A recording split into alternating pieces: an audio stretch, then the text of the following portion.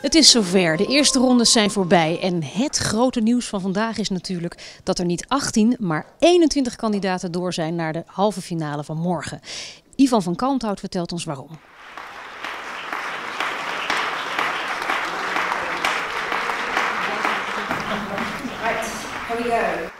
Ivan, geen 18, maar 21 kandidaten door naar de halve finale. Hè? Vertel eens. Dat was een verrassing. We hadden zoveel goede kandidaten. En er was zoveel discussie bij de jury dat ze toch echt wel vonden dat die er ook bij hoorde en dat die ook zou kunnen. En het waren goede puntentellingen. Dus we dachten, nou, dat, uh, die kans laten we ons niet ontgaan. Dan hebben we over de halve finale drie mensen meer om naar te luisteren. En nog een extra Wagner-kandidaat. Wordt dat proppen dan eigenlijk straks? Het is een beetje meer dan je had gedacht, maar de prijs is hetzelfde. Dus voor het publiek is het heel goed. Dat was natuurlijk het, het, grote nieuws. En wat is er vandaag verder nog gebeurd? Vandaag uh, geeft Sylvia Maas haar workshop. Daar is ze mee bezig. De 21 kandidaten die dat lied moeten zingen, krijgen dus informatie over wat ze bedoeld heeft en hoe het zou kunnen. En we hebben dus voor de eerste keer het lied gehoord en het is prachtig.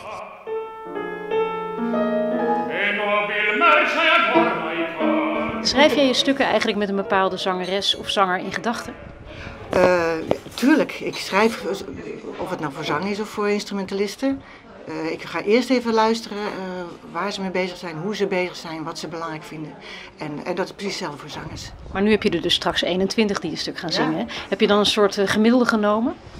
Nou, ik heb gewoon van alles wat erin, erin gedaan. Dat iedereen zijn ei kwijt kan, zeg maar. Irene, jij hebt het natuurlijk al uh, ingestudeerd. Uh, ja, maar ik ga het echt niet zingen hoor. Ik doe niks, uh, ik ga het niet voordoen. Ze moeten echt lekker zelf komen met de muziek. En dan gaan we kijken hoe voor iedereen individueel dat stuk het beste tot zijn recht komt. Dus het zal misschien ook voor de een een ander accent krijgen dan voor de ander. Je mag het ook niet zingen omdat je het anders al weggeeft als je deze workshop ja, doet. Ja, zij moeten het creëren, zeg maar. En ik zou het dan ook weer heel anders doen, bij spreken.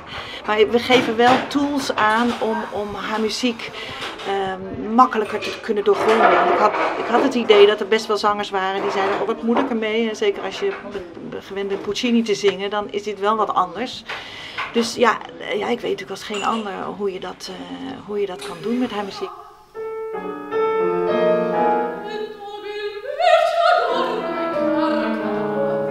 So the beginning that more dent you can do.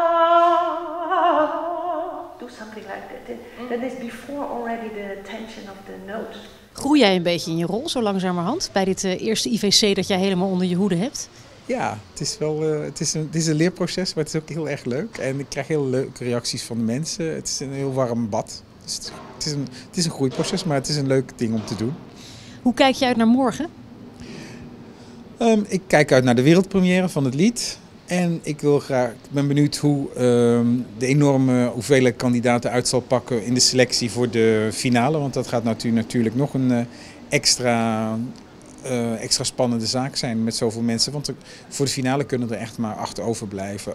En er kan een wildcard nog getrokken worden en dan zijn het er negen. Morgen zit deze zaal helemaal vol, want dan vindt de halve finale plaats waarvoor dus 21 kandidaten geselecteerd zijn. En aan dit tafeltje gaat de jury zijn ongenadige oordeel vellen. Wilt u erbij zijn? Er zijn nog kaarten. En uh, u kunt het ook thuis vanuit uw luie stoel volgen via het YouTube-kanaal van het IVC vanaf 1 uur s middags.